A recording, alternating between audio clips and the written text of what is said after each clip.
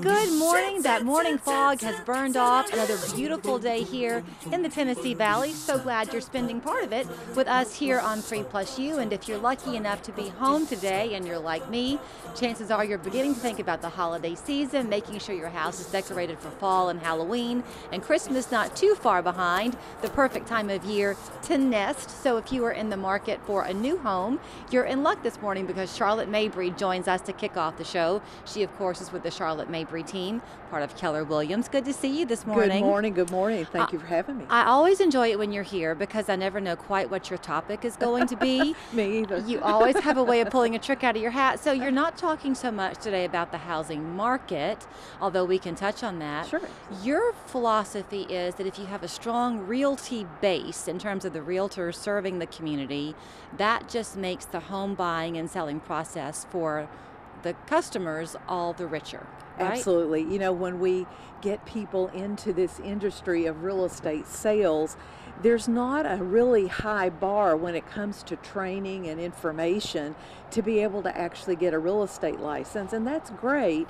But ultimately, if we're going to serve our community and our, our clients to the highest level, we as real estate sales professionals probably need to know what we're doing, right? Do you remember when Seinfeld was a big show on TV? yes. And I remember there was an episode once where George was out of work. He was always, I think, out of right. work. And Jerry's counseling him about what he wants to do. Right. And he's a middle middle-aged man, essentially. Right. What do you want to do? And George says, "I want to be a major league baseball player." right. you can't just step up Absolutely. and do that. Same with real estate. You've got to build it. No question. And you know, we have some wonderful real estate sales professionals here in our Chattanooga, North Georgia area. We're very fortunate. But you know, I, I one of the things that's on my heart is 90% of everyone that gets a real estate license and joins our local association of realtors they don't make it past two years in this industry.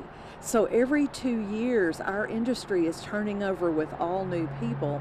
And what a shame that is for them and for the community as well. And so years ago, I've done this now for 35 years. Years ago, there were a group of us that got together and said, hey, how can we meet once a month and maybe mastermind together to help each other grow, not only individually, but help ourselves grow our businesses? And so, November the 9th, coming up on Tuesday, November the 9th, we're going to try that again. And so, we're going to do a monthly mastermind. It's open to anyone from any company that is interested in growing their business. And, you know, we get so little financial training in mm-hmm. any industry, Right. in any job that we have. And so, when we have real estate sales professionals who who are supported and encouraged because well they sell the most or they're the most popular that's all great but ultimately you know it's not really about what you make it's what you keep right and, and how you're growing your family and your own personal wealth and we find a lot of people particularly in the real estate industry struggle in that arena and so we want to help on that Okay, so let me ask you something. I'm trying to kind of break this down. Besides the obvious um, positive thought, you know, behind what you're doing, but for the for the consumer, for the home Sure, buyer, eventually, absolutely. is the way that breaks down. Not to be jaded, but if you've got an agent who is secure in his or her own right, they've got a nice business model, then if you go in and you find a home they can guide you more effectively in what's a fair asking price because they're not so concerned Well, about if, that if all you care about is selling something because you're desperate for money. Okay, you said- right. you're right. I mean, that's a, I guess, the bottom line. But ultimately, how do I help my client be better thoughtful of their own financial future Sure. if I don't have a grip on my own? right. And it's not that we don't have people who understand that we do, but there are a lot of people who struggle in that arena because they've really not had that financial education. Well, and in your industry, it's different from most people where you're getting a, a standard paycheck every couple of weeks.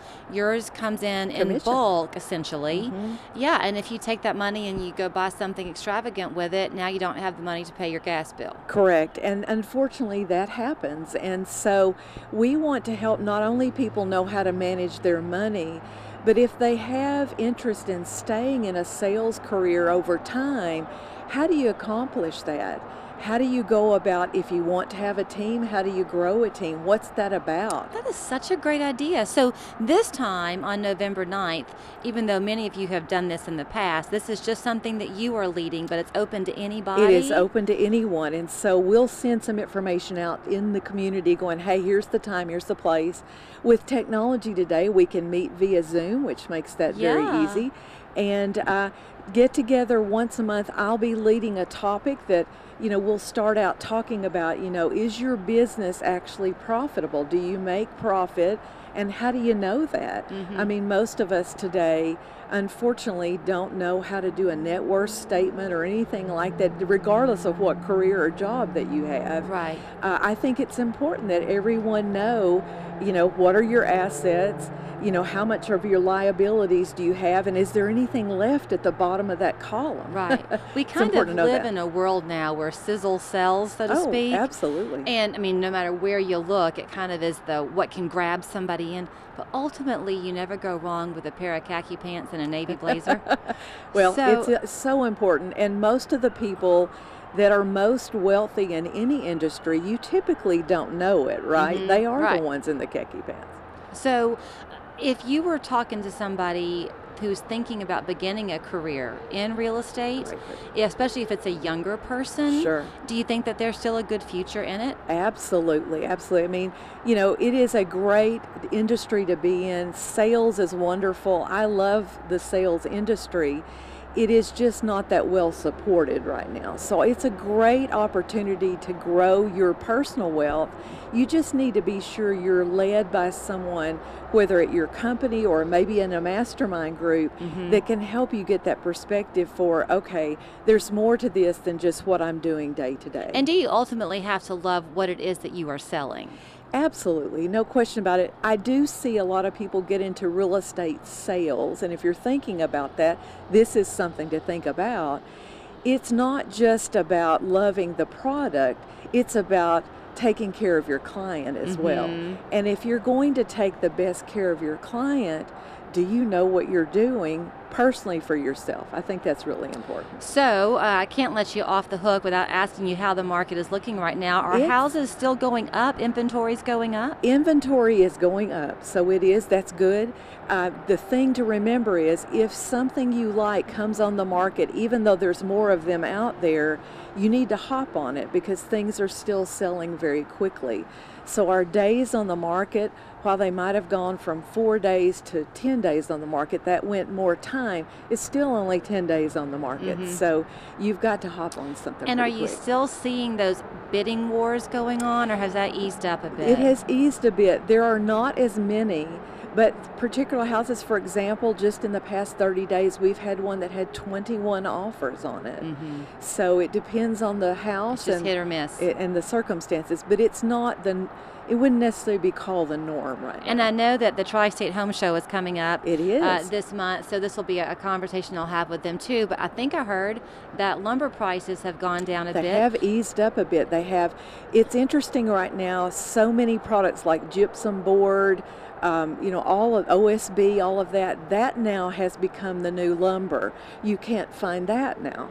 Oh, but for people who might be buying a house and where they were thinking, oh, I can't because I can't get the lumber for the deck I want to replace, That's easier. you got it now. You got it now. Okay. Always Awesome. good to see you. To sign Thank up you. for your class, they should go on your website. They can absolutely. I'll be sending something out to everyone registered as a realtor right in the current community. Mm-hmm. Uh, so in both Chattanooga and North Georgia, because again, this is open to anyone from any company. Always great to see you, Charlotte. Thank you. you. You can contact her or her team, the Charlotte Mabry team, at Keller Williams. Their phone number and website right there on your screen. We're back after this.